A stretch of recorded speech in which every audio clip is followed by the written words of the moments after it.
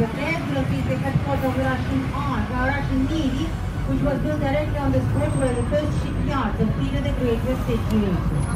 On the right hand side, a great view of the palace square with Alexander, column in the center and the building of the Hermitage Museum. As I understand, some of you are doing the Hermitage tonight, yeah? Some of you are doing